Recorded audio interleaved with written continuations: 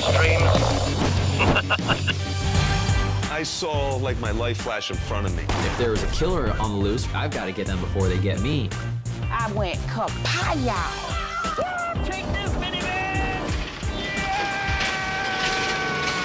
A little freaky, I'm not gonna lie. But it's VR, it's 360 degrees. So you kind of lose yourself in the character.